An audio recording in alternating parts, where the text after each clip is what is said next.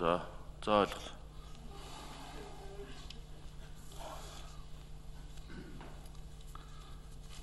За, баярлалаа. За, юуны өмнө Монгол улсын хөгжлийн бодлогын баримт бичиг алсын хараа 2020-50 энэ бодлогыг анх санаачлаж ардан зохион байгуулж улсын хурлаар батлуулсан та Монгол улсын ерөнхий сайдад томилогдож байгаа явдалд талархаж байна.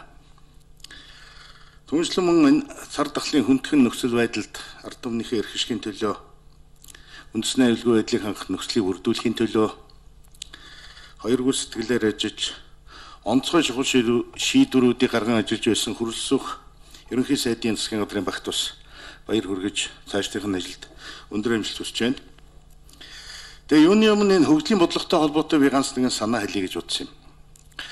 Над асуулт алга байна Ер нь Монгол улсын аль засгийн газрын эрхэм үүрэг бол ард түмнийхээ аюулгүй, ард түмнийг аюулгүй 50 орчинд тэгштүүрэн амьдралыг хангах ийм л одоо эрхэм зорилго байгаа. Монгол улсын хөгжлийн бодлогын алсын хараа 20 50-ын үндсэн агуулга бол энэ амьдралын чанарыг дээшлүүлэх хэмээн томьёолсон байна. Энэ ухагтхуун бол энэ төрийн засгийн газрын эрхэм үүрэгтэй шууд холбогдож, шууд томьёологдсон гарч ирж гэн гэж би хардаг. Тэртээ 20 онд 20-д онд Данлангуй хэлсэн нэг зарчмын үг бий. Бүгдээрээ баяжих тун гэж. Тэгэхээр энэ хөгжлийн бодлогын үндсэн агуулга би энэ Данлангуй хэлсэн энэ зарчим бол адилхан юм уу гэж ойлгож байгаа юм. Энийний цаан шудраг усны томоохон зарчим байгаа. Гүн гүнзгий агуулгатай юм эрхэм зорилго байгаа. Энийг та хэрэгжүүлнэ гэдэгт би итгэж байгаамаа. Монгол Ардын намын 2020 оны сонгуульд орсон мөрийн хөтөлбөрийн үндсэн агуулга яг энэ байгаа шүү дээ. Ерөөсөө ард түмнийхээ амьдралын чанарыг дэвшлүүлэх гэдэг асуудал. Тэгэхээр ард түмэнд амлсан амлалтын хэрэгжүүлэх хүндхэн ачааг таны засгийн газар нуруунд дараа үүрч байна. Тэгээ үнийг амжилттай хэрэгжүүлнэ гэдэгт би батлаа итгэж байна. Тэгээ хөгжлийн бодлогын бас нэг онцгой чухал ач холбогдол өгөх нэг асуудал бол энэ Монгол улсын автозамын хөгжлийн асуудал байгаа.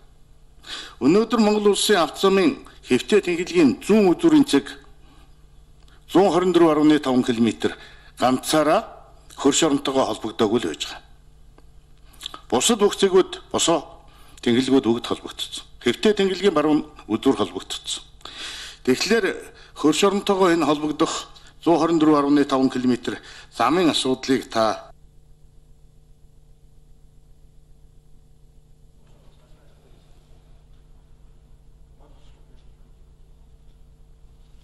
За Лус намтраа хоёр үрдэн сайд. Сэргэлэн гүшүүнээс бол. А? За үндсэндээ санал юм да тийм ээ. Энэ асуулт үг хамт явуулсан сэргэлэг гүшүүнэ. Тэгэхээр 3 минутаар нэмэлт 1 минутаар явуулсан юм а. Бус тгшүүд яг адилхан байгаа учраас.